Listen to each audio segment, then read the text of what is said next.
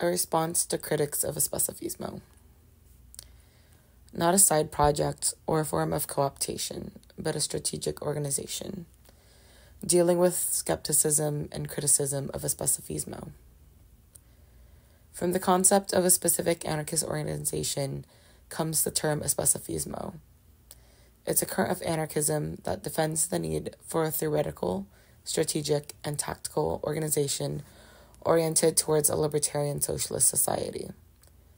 The political organization, something like a station in the struggle, situated somewhere between the different tendencies of social and organized anarchism and always trying to influence mass movements or broad fronts.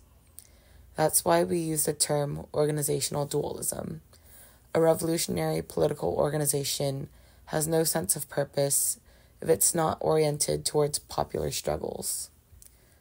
Of course, all of this occurs with a shared strategy and a clearly defined program.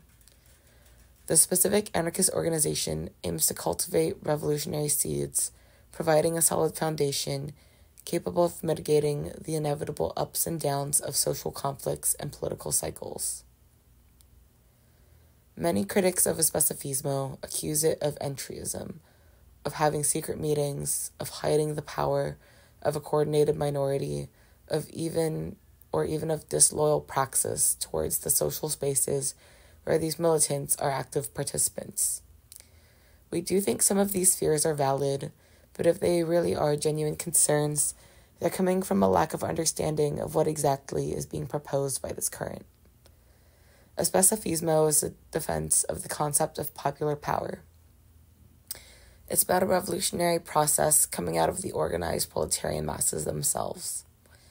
The firm belief that the popular classes should themselves be the protagonists and subjects of revolution, the defense of democratic mechanisms of decision making, the commitment to the self management of these struggles and to building popular stru- structures based on the active participation of a broad majority. The political practice of especifismo claims aims to ensure that mass movements are places for learning, real life sites of popular participation. This means it wouldn't make any sense, based on these aims, for especifismo militants to seek to exercise control over any kind of mass social space. The specific anarchist organization is in no way an end in itself, but a rejection of self proclaimed vanguards, and an understanding that the libertarian communist militant has to be inserted within the people and their struggles, not above them or in the shadows. Obviously, not everyone is or is going to be an anarchist. Not even everyone in libertarian spaces share a single wide reaching consensus regarding political action. For this exact reason, the specific anarchist organization is a space of affinity for those of us who think that strategy, conjunctural analysis, and militant formation are indispensable. Since especifismo comes out of the socialist tradition, we can firmly believe that we can learn and develop our ideas better together. And we reject the anarchist individualism of the last few decades as a liberal deviation. Let's go back for a moment to the concept of popular power. Much of the concrete praxis of especifismo in real life consists of working to ensure that mass movements are participatory and democratic. This implies the existence of other political groups situated on these same fronts. Groups with which it will be sometimes necessary to find common ground and other times to oppose. Anarchist political practice on these fronts should provide effective tools for organizing and taking action. You could even say that the strategic organizing of especifismo seeks the exact opposite program outcome of cooptation or entryism. It's about being active subjects within these struggles as a means of preventing these fronts from being deactivated by institutionalized and or vanguardist tendencies. It aims to organize and radicalize the popular masses under their own will, training and developing their capacity for struggle and fostering the collective desire for liberation.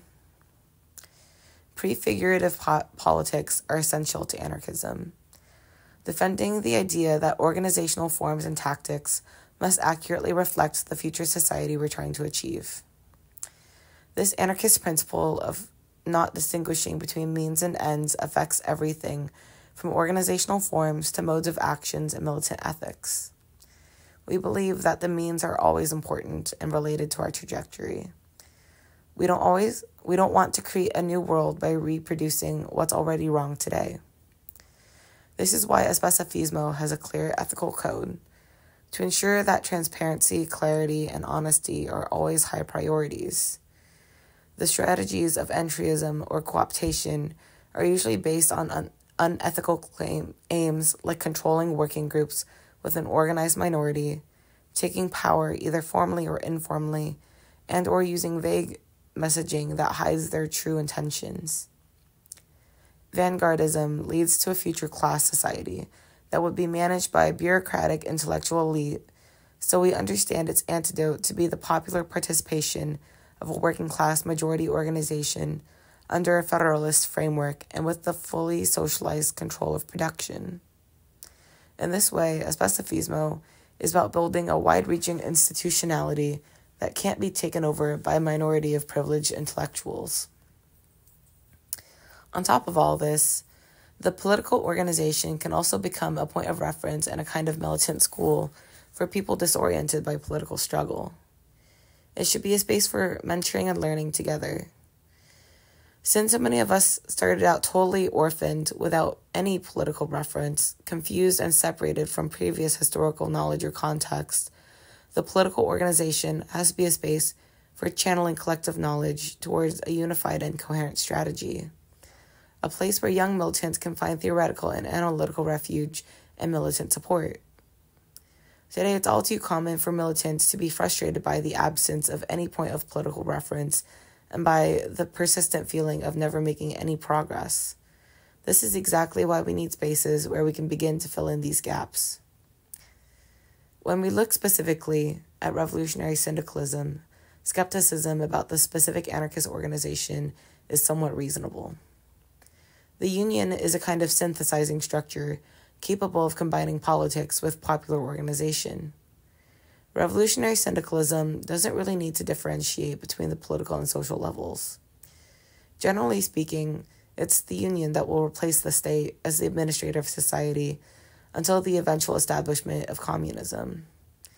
We are formally committed to this political position and its strategy, but even when we take that into account, we still don't see anything contradictory about an organization of militants from the anarcho syndicalist tendency meeting to establish a coherent strategy, share experiences of struggle, and have theoretical debates that go beyond the immediate issues of the union itself. Revolutionary syndicalism is the popular materialization of the working class, specifically in the form of unions. It's a means of combining our efforts towards the shared end of exercising control over production. But there's a problem when young militants aren't attracted to anarcho syndicalism because they can't easily fit in and participate, either because of the material conditions or due to the general lack of theoretical formation. It's not easy for people today to just tag in and join a larger militant organization without also dealing with other shortcomings at the same time. This is why we think the political organization could serve as a space for developing and perfecting the skills of the anarcho syndicalist militant of the future, a political school for people coming from different backgrounds. It's about preparing them with analytical, strategic, and militant capacity. When you can't see the forest for the trees, the political organization should be the hill you climb up to get a good lay of the land, a place that can serve as a dependable revolutionary station for multiple distinct and different fronts of struggle developing and encouraging interconnections between them, and enriching tendencies like anarcho syndicalism with pragmatic and informed methods of militancy. It's true that coordinated gears like this have a lot of moving parts, so we're very excited that these kinds of debates about organization are taking place. They show how, after many years of theoretical stagnation, sectarianism, and disorganization, and purely aesthetic activism, libertarian spaces are coming back to life. While the task at hand is daunting, that doesn't make it any less encouraging.